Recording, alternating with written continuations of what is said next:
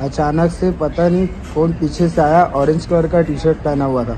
वो हमला किया मेरे को कुछ देर बाद। गया था एक रोल लाने के लिए और जाकर वहाँ पर डांस करने लगा डीजे जा रहा था तो।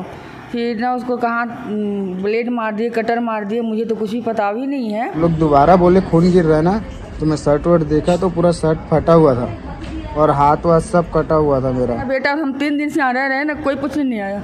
मेरा पति भी यहाँ नहीं है गाँव में रह रहे हैं। लेकिन हम लोग कितना कष्ट झेले हैं यहाँ पर रह के हम जान। रहे फिर मुझे एक जन से आपका नंबर मिला फिर मैं आपसे कांटेक्ट करी आपको बुलाई। ऐसा होना चाहिए क्या? कटरबाजी की घटना इतनी ज़्यादा हो चुकी है कि धारदार हथियार से किसी को मार देना बहुत आम हो चला है दुर्ग भिलाई शहर में खासकर आया है जहाँ पर कैनाल रोड के पास रहने वाले के के रहने वाले एक शख्स जो हनुमान जन्मोत्सव हो रहा था, रैली निकल रही थी, उसमें नाचने जाते हैं, डांस करने जाते हैं कि तभी अचानक से कोई शख्स आता है पीछे से और चीरा मार देता है और उसके बाद वहाँ से चले जाता है।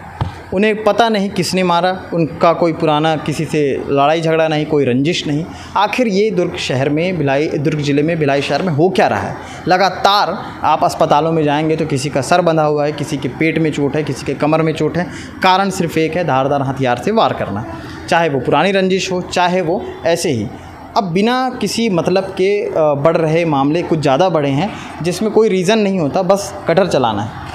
कब आपके ऊपर कब हमारे ऊपर कटर चल जाए इसकी भी कोई गारंटी नहीं है। फ़िलहाल जिस लड़के के ऊपर ये सारी चीज़ें हुई हैं और उनसे बा उनकी माँ से हम बात कर रहे हैं और उनसे जानते हैं इनके लड़के से भी हमने बात करने की कोशिश की उन्होंने जो बयान दिया वो तो दिखाएँगे ही सब। पहले इनकी माता जी से बात कर लेते हैं। आपका क्या नाम है? सपना पटेल। कहाँ के रहने वाली हैं आप? मैं के से अच्छा। आपके बेटे का नाम? सौरभ पटेल बंटी बोलते हैं। कितनी उम्र है उसकी? तेईस साल। क्या हुआ क्या है उसके साथ? हुआ कुछ नहीं सर वो गया था एक रोल लाने के लिए। और जाकर वहाँ पर डांस करने लगा डीजे जा रहा था तो। फिर ना उसको कहाँ ब्लेड मार दिए कटर मार दिए, मुझे तो कुछ भी पता भी नहीं है। ग्यारह बजे रात एक लड़का कॉल आया, मुझे बोलता है, आंटी, आपका बेटा लाल बहादुर शास्त्री में कुछ चाकू मार दिया, आप लोग आ जाओ।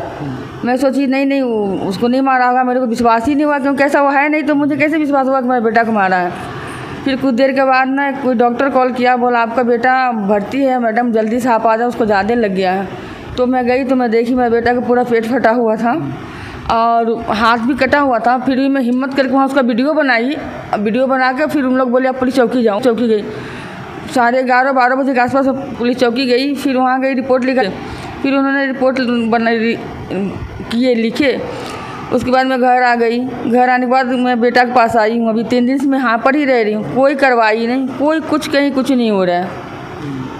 आसपास के लोग भी आना जाना सिर्फ़ आप ही अकेले खाना वाना कैसे हो रहा है? बस मैं यहीं पर खाना खाती हूँ और जो गवर्नमेंट से मिलता है बाहर से लाती हूँ मैं यहीं पर रह रही हूँ। कोई नहीं मेरे देखने मेरे बेटा। काम क्या करता था? मेरा बेटा हैवी ट्रांसपोर्ट में गाड़ी चलाता। है कोई हमारे जो पार्षद है या कोई भी ऐसे बड़े बड़े नेता लोग आते हैं ना अभी इलेक्शन होगा सब हमारे घर आएँगे वोट देने के लिए। लेकिन हमारा बेटा हम तीन दिन से यहाँ रह रहे हैं ना कोई पूछने नहीं आया। मेरा पति भी यहाँ नहीं है गाँव में रह रहे हैं। लेकिन हम लोग कितना कष्ट झेले हैं यहाँ पर रह के हम जान रहे हैं। फिर मुझे एक जन से आपका नंबर मिला फिर मैं आपसे कॉन्टेक्ट करी आपको बुलाई। ऐसा होना चाहिए क्या? तो अभी अभी क्या आप न्याय चाहते हैं? इससे पहले कोई झगड़ा था क्या उसके नहीं साथ? नहीं उसको किसी से झगड़ा नहीं है ऐसे हम लोग किसी से झगड़ा करते ही नहीं है। हम लोग अपने में रहते हैं वो भी गाड़ी में जाता है गाड़ी से घर घर से गाड़ी बस और कहीं नहीं जाता है। तो मेरे को दिखना चाहिए ना कि मेरा बेटा कौन दुश्मन ने क्यों मारा। मैं ये जानना चाहती हूँ। और बताना चाहूँगी।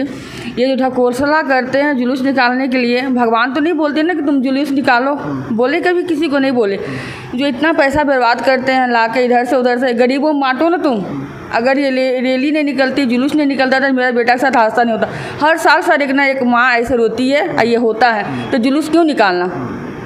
जुलूस नहीं निकालना चाहिए। ये पैसा गरीबों बांट दो जो गरीब है तुम लड्डू बांटो दूध बांटो लोगों को सेवा करो ना फिर जुलूस क्यों निकालते हैं? जुलूस बंद होना चाहिए। मेरे ख्याल से जुलूस बंद होना चाहिए क्योंकि उस नहीं तो फिर इतना फोर्स बुलाओ किसी कुछ ना हो। हाँ प्रशासन से कोई न्याय चाहती है? हाँ क्या? क्यों मैं न्याय चाहती हूँ को पकड़े उनको क्यों मारा? आखिर मैं ये जानना चाहती हूँ कि मेरा बेटा क्या गलती था?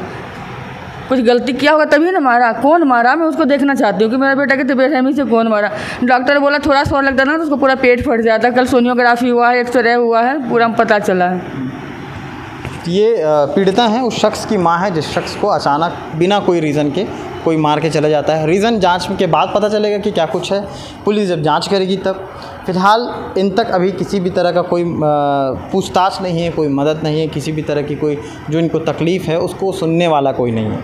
इन्होंने हमसे कांटेक्ट किया, हमें बताया किस तरह की हालात है तो हम तत्काल यहाँ पर पहुँचे, बातचीत की। अब इनके लड़के से जब हमने बात की तो वो क्या कुछ कह रहे हैं, वो दिखाता हूँ मैं आपको। मैं करीबन आठ सा, आठ नौ बजे के आसपास रैली गई, जा रही थी घर के पास से केएलसी में। वहाँ मैं नाचने गया। नाचते ही नाचते अचानक से पता नहीं कौन पीछे से आया ऑरेंज कलर का टी शर्ट पहना हुआ था।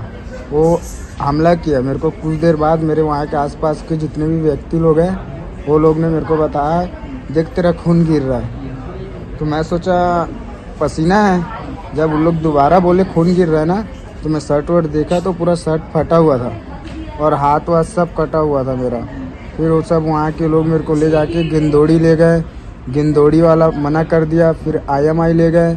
आईएम वाले आईएमआई वाले भी मना कर दिए फिर सुपेला लाए फिर वहाँ पे ला टाका उका मारे फिर वहाँ से दुर्ग रिफेयर कर दिए। फिर दुर्ग में उपचार चल रहा है। नाम क्या है आपका? मेरा नाम है सौरभ पटेल। कितनी उम्र है तेईस साल उम्र है मेरी। और किसी से कोई झगड़ा के कोई झगड़ा विवाद नहीं है मेरी। काम करते हैं मैं हैवी ट्रांसपोर्ट में गाड़ी चलाता हूँ टेलर।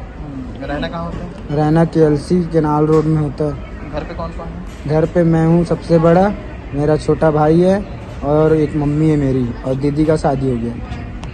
तो ये पूरा मामला हनुमान जन्मोत्सव हो रहा था। वहाँ पर जो डीजे चल रहा था डीजे में अचानक एक शख्स आता है और उसे इस तरह से अ, मारा जाता है और उसके बाद जिसकी हालत ऐसी है कि जिसका वीडियो हमने आपको दिखाया है उनकी माता जी से हमने बात किया है। ये सारी चीज़ें हैं।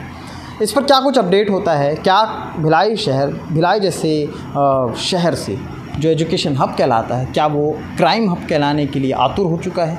क्या इतने क्रिमिनल बढ़ गए हैं कि वो क्राइम हब कहलाने लगेगा? ये चिंता का विषय है और इसी विषय के साथ फिर से आएँगे अल, अलग खबर के साथ ज़मीनी हकीकतों के साथ। शुक्रिया।